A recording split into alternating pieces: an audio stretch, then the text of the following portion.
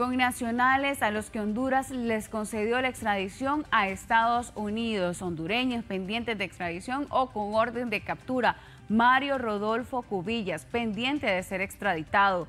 Eric Fernando Raudales Matamoros, pendiente también de ser extraditado. Edgardo René Velázquez Navarro, alias El Burro, pendiente de ser extraditado. Mario José Cálix Cubeta, pendiente de ser extraditado. Se espera, obviamente, que ya hoy deje el país.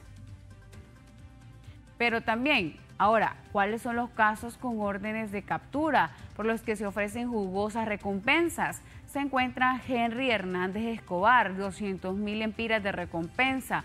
Oscar Rafael Leiva, 200 mil empiras de recompensa. Joel Armando Galea Rodríguez, 200 mil empiras también de recompensa se está ofreciendo para su captura. Y Juan Carlos Perdomo, 200 mil empiras de recompensa.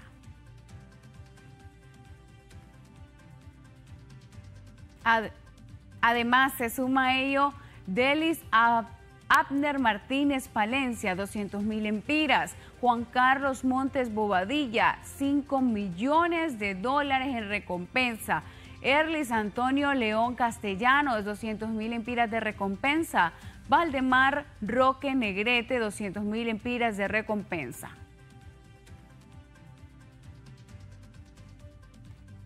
Ricky Juárez Hylock, 500 mil empiras de recompensa. Elmer Omar Montoya Natarén, medio millón de lempiras en recompensa también. Miguel Ángel Urbina Soto, también medio millón.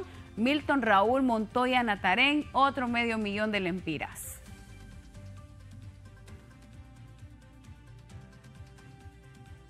Y este también, que es uno de los más famosos por los cuales se está ofreciendo 5 millones de dólares en recompensa, Alexander Mendoza, también conocido como Yulán Adonai Archaga Carías.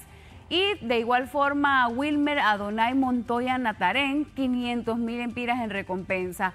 Carlos Fernando Urbina Soto, 500 mil empiras en recompensa. Estas son parte de las personas que están pendientes con orden de captura y que se ofrecen estas recompensas con el fin también de extraditarlos hacia los Estados Unidos, ya que todos tienen pues orden de captura con este fin.